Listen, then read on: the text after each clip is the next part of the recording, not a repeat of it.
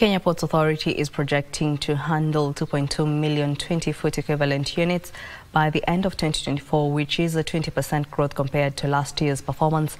According to the Kenya Ports Authority Managing Director Captain William Ruto, the port has already handled 1.75 TEUs, with the growth attributed to enhanced operational efficiency.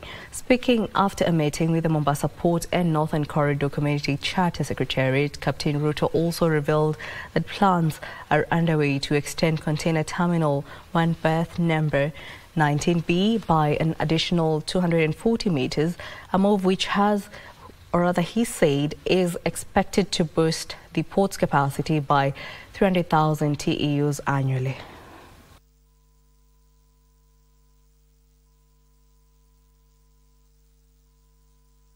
This year, 2024, as we speak right now, we have surpassed the target for last year. We are currently at 1.75. And with only uh, one and a half months to go, I have every confidence that despite our target having been 1.9 million, we are really going to hit 2.2 million if all goes well. So that will be a growth of more than 20%. We are also extending the container terminal 1, that is uh, number 19B. Very soon we will be signing the contract with the contractor to add an additional 240 meters quay length, an additional capacity in terms of TEU capacity of 300,000 TEUs.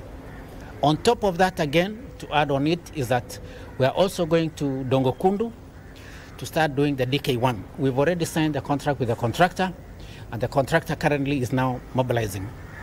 And we expect in the next, in another two years, uh, number 19B with an additional capacity of uh, 300 TEUs will be ready. We have seen an increment of transit cargo through the port. Uh, between 2022 and 2024, we have an increase of about 17%. Uh, we see improvement in the transit to Burundi, by about 14%. Uh, recently, we had Ethiopia, uh, which initially was doing about 8,000 tons to 847 tons through the port of Lamu. So as an industry, we are happy with what we are seeing.